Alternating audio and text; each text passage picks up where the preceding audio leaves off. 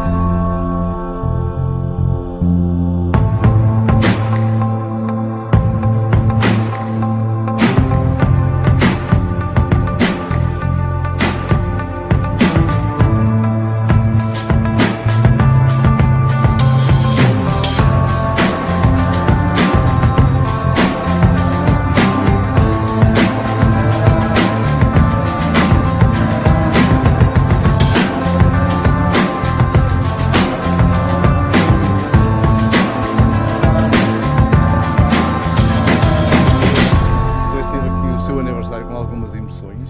Realmente. Logo à partida com emoção, mas fazia parte, isto era o plano. De participar.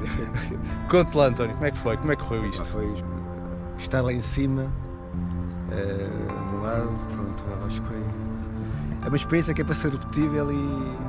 Exato.